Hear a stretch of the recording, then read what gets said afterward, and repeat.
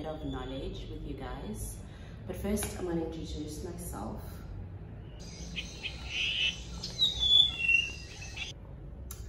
Okay, I'm going to introduce myself. My name is Ebisa Makanda. I am better known as CC. I studied somatology, which is the study of the skin, and I am working in Dubai. I work at a resort as a spa therapist. I am loving being here and I'm sure most of you have seen my post on Instagram, how I am navigating my life in Dubai. I am just over two weeks in Dubai and yeah, I am loving it. I'm enjoying it. I miss my kids at home. I miss my family, but yeah, here we are. Anyways, I have been getting a lot of messages from people asking me, what did I study? How do I work abroad? And things like that. So I just thought I should make a video and just explain how I got to be a spa therapist and yeah. So I am very thirsty. I actually like drinking water in a coffee mug. I don't know, it's just great. Mm. Okay, so let's start with somatology. Okay, somatology, as I explained, it is the study of the skin and holistics. So I studied a course at a college called Face to Face Beauty and Design. Um, I studied in Pretoria, but this college is available around the country, like Cape Town, Durban, I think the major cities. And I think there's one in PE or East London. But I specifically studied in Pretoria. Um, I prefer college settings because it is more um, intimate. And also, when I studied this course back in 2012, um, it wasn't really available in universities, but I've seen now that most major universities offer the diploma and you can study it, diploma or degree, um, whatever you prefer. I did three years um, diploma um, I know now it is also available in a four-year degree, which is great, gives you a lot of knowledge. What do you study in somatology? Okay, somatology, I studied um, taking care of skin. So my first year of the course, I was taking care of skin, which is facials, um, manicure and pedicure, uh, the basics, which is nipping, um, cuticle work, you know, the works, and also um, paint applying. I went on to teach myself how to apply gel, which was uh, another thing that is not offered in the course. Um, I also did business, which is studying how to navigate working in the industry.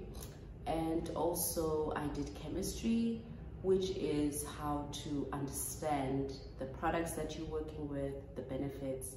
I also did um, anatomy, anatomy which is the biotics of the body. Um, so yeah, you need to know what muscles you're working on, what to avoid, blah, blah, blah.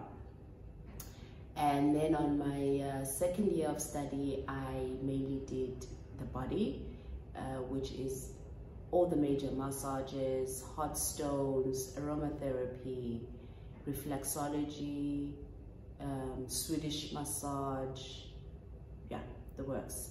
And then on my third year of study, I did basically um, taking care of your working space, sanitization, um, yeah, major. There's a lot of stuff that goes into it, psychology, um, how to understand your clients, how to speak to your clients, and, and things like that. And that was the makeup of my diploma. And then I finished that and I started looking for work, uh, which was a bit difficult, but I already had an idea of where I want to work. Um, within the course, kind of the school will let you know where about you can work, things like hotels that offer um, spa therapy, you could open your own business, you know, all major um, networks where they offer spa therapy or skincare therapy that you could be qualified for. And one of the things that was also offered was to give you a chance to go to cruise ships and work on um, cruise liners that offer spa therapy on their cruise ships.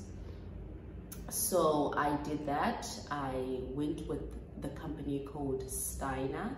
At that time, it was the only company available um, that offered spa therapy work for beauty therapists um, around cruise ships. And I applied. The application process is not really difficult. It is better to get in touch with a recruiter I will list some of the recruiters um, in South Africa and also the website on how to apply on that, which is really helpful. In my day, the website was really hard to, to, to navigate or to actually be reached out on.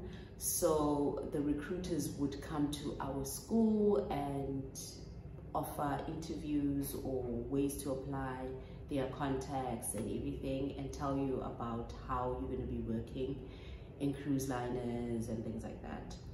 And um, I did that uh, right after college. I, I applied and lucky enough, I got to the interview stages and you get into training, which is some hard gruesome training and uh, just to be really honest, you guys, cruise ships are not that glamorous. It may look good, but it is hard, hard work.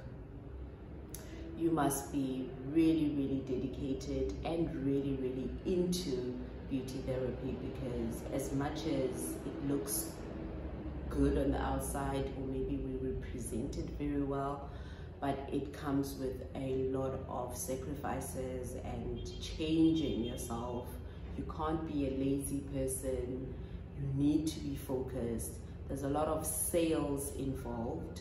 So if you can, just um, make sure you are really good in communication and customer service and, you know, and basically know how to suck up to people. It's, it's, it's insane but it is worth it. You get to learn a whole lot about yourself. It is long contracts, which is like nine months contracts at each time. It's very long, but it is worth it. Um, you earn some good money. You are able to save and yeah, it's like a kickstart to a career. I am so glad I did that right after college so that, I don't know, it toughens me up um, I don't think that beauty therapy is all about like being soft and everything. No, it was not all about that.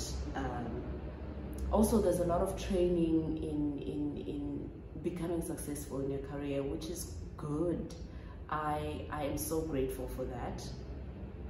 I then um, uh, stopped working for cruise ships. I did about uh, two or three um, contracts with Steiner and I couldn't take it anymore. Um, so I just um, didn't renew my contract.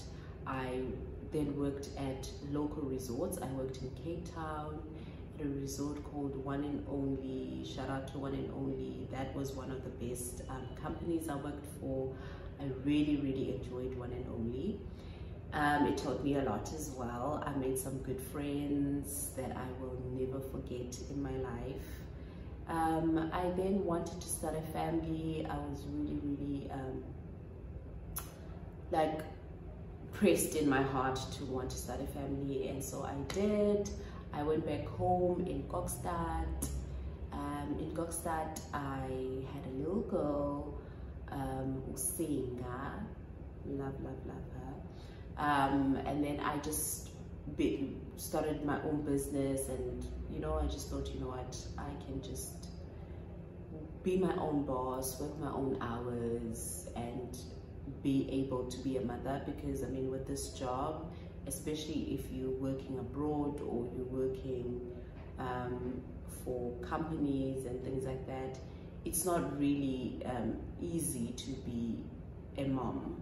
Working hours are long and you work holidays because this is the time where people want spa therapy. And yeah, that's what I did. I went back home, I started my business, I went on being a mother, I then had another little girl, Usikuyo, and yeah, my life was great. I am not complaining. The only problem was that my finances were not really good.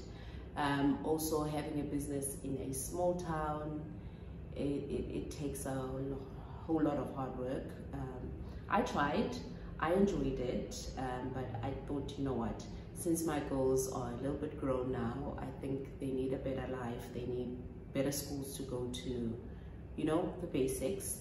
So I decided to go back abroad. Um, going back abroad, I my first stop is Dubai, which is where I'm at right now. Um, I work for a lovely company once again and it is a new journey. I will be sharing the journey with you guys and let you know. Um, I think this is where I'm going to stop this video. Um, if you have any other questions, please do let me know. Hit me up in my socials at Miss Makanda on Instagram. And yeah, I can um, answer some of the questions. Um, on my next video, I think I would be talking about how to apply um, just in more detail on how to apply to become um, spa therapist in, in major companies abroad and yeah sharing that detail. So stay tuned for the next video. Thank you for watching. Bye